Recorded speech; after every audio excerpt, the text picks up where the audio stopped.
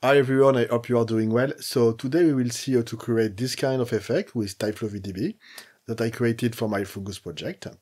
We will see how to apply texture and maps to be able to deform our object, as well as how to control the speed of the deformation and apply textures. You can also find, as usual, my complete Fungus project on Patreon, as well as all the other projects. Okay, let's start now. Okay, so now we are in 3ds Max, and the first thing I'm going to do is just to create a sphere that will be used as my base shape. Okay, like this. 100 segment is enough. Now what I want to do is to create my growth effect. So I will create now a Tyflow setup. So here, Tyflow, open editor, and now I will play with VDB. So here, I create a browse VDB.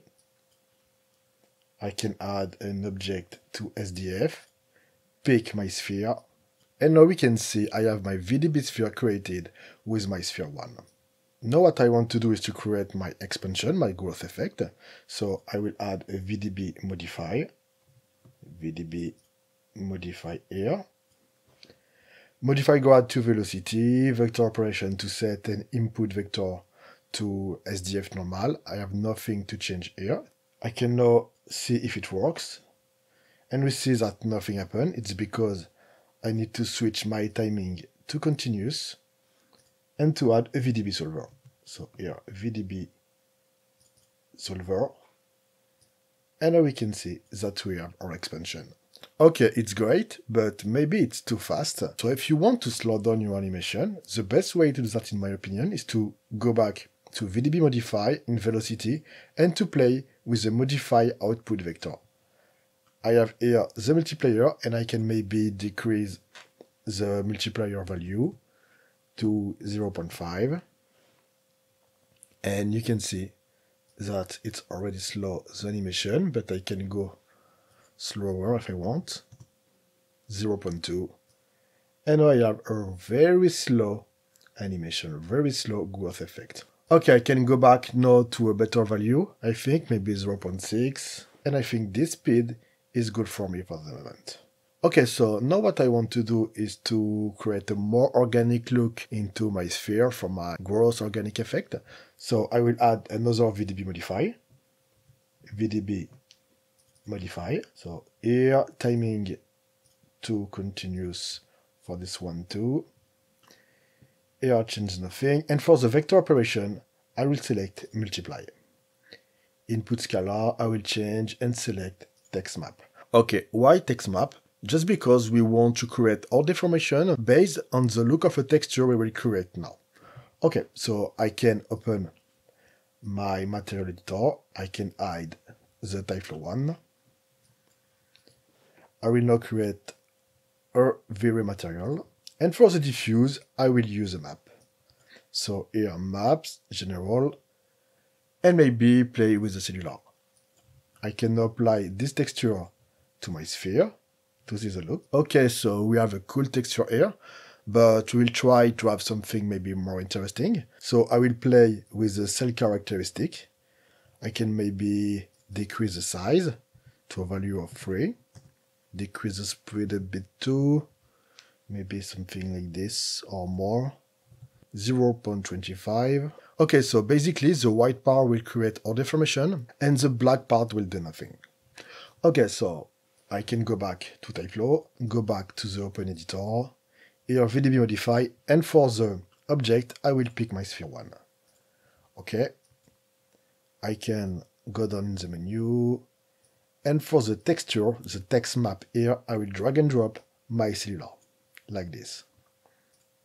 I can maybe decrease the voxel size because I think 1 is too high. So to have a better look, I think 0.5 will be good for the moment. And now we will see the result. And if I go forward in the animation, we start to see we have something very interesting like this. We have a growth effect based on the look of our texture. I can go back here and maybe modify my cellular. I can add a fractal and you can see that it changed the look of our deformation. I can also change the size if I want a more big effect maybe a size of 10 like this you can see a big part I think I will just remove the fractal for this effect. Okay, just here big bubble, so I think I will just activate the fractal again.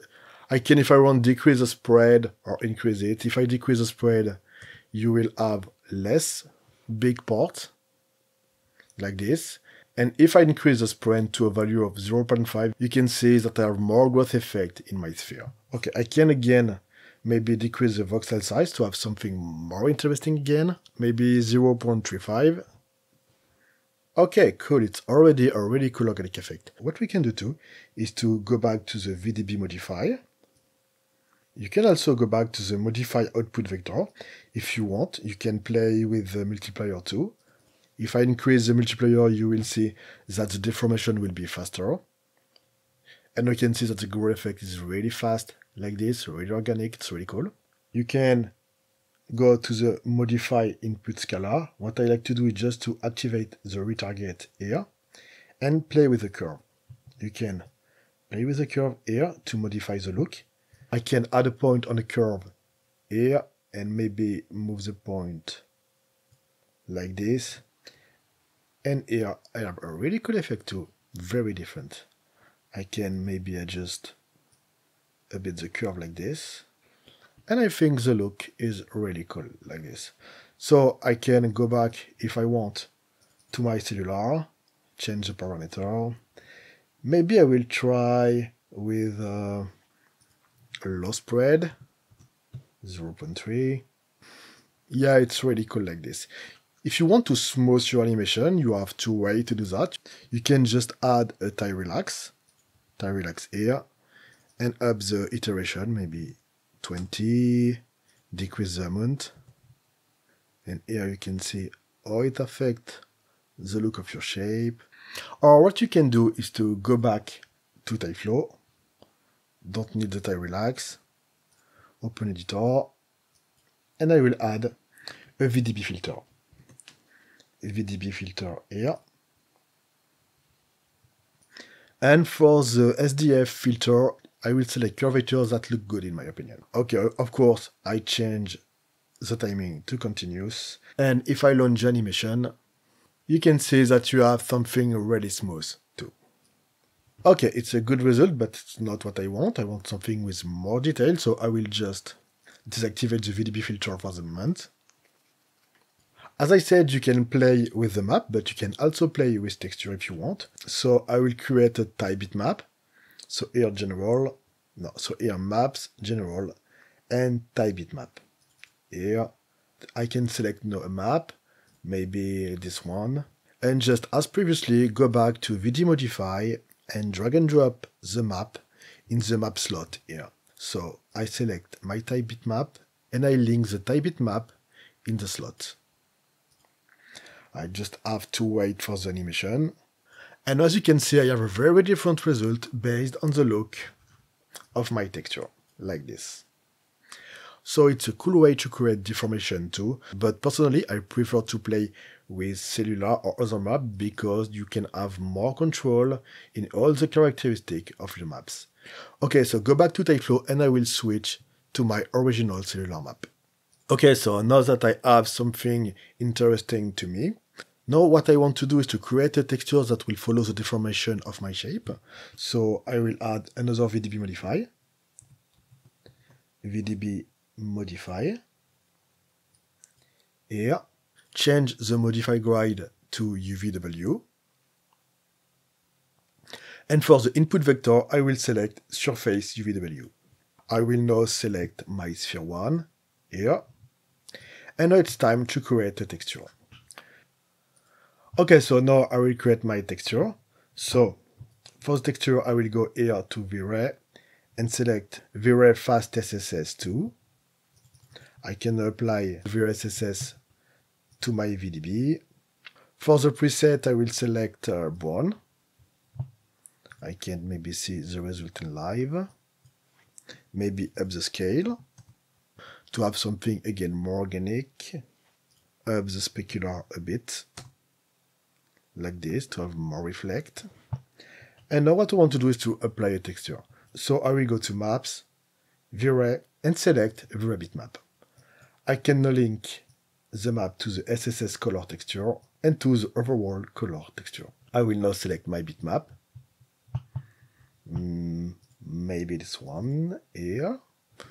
For the mapping source, I can maybe change and select V-Ray UVW randomizer. Select stochastic tiling to have something more random and maybe play with the tiling a bit like this like this okay what I can do is to maybe add a bump. So I will go to general and add this time a noise I think. Select fractal size 0.6 you can see here you have some bump. I can go forward in the animation to see how it looks. And you can see that you have already something very interesting here. I can again go forward. Maybe frame 60 yeah, it's really great like this. It's already a really cool effect. But if I want, I can add again more deformation, maybe like my fungus effect, with add some displacement in the look of my shape. So to do that, I will simply go back here to frame 0, activate my render, and for the displacement, I will add another cellular. So here cellular, maybe a value or 3 for the size, and we see that we have a really cool displacement on the look of our shape. I can now go forward in the animation, relaunch the render, and we see a total different look with really cool effect. I can maybe increase my displacement, displacement maybe 60, relaunch, and you can see here I have a very interesting look like this. And if you want to decrease the spread of your cellular, and now I have a lot of small spike here. It's really cool like that. If you want to change a bit the look of your texture, you can just uh, get rid of the SSS color texture. You can go back to your texture, maybe try with another one. Maybe like this. Can be really cool if maybe I increase the color.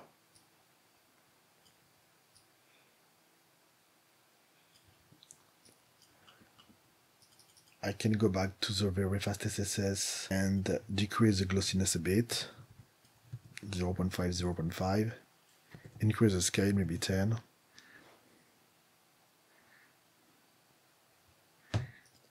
maybe 10 or maybe a really slow value if I want something with more shadow. It's up to you to play with this value to create the look you want for your effect. I think a value of between 1 and 10 is good maybe 6 would be perfect really cool like this I will maybe change the look of the spike just by increase the spread like this Okay, so it's over for this tutorial. I hope you've learned a lot of things. Don't forget to give me a thumb up and to subscribe if you like my work. You can find the complete project on Patreon, and you can also follow me on Instagram or Behance if you want. See you soon for the next tutorial, guys. Bye.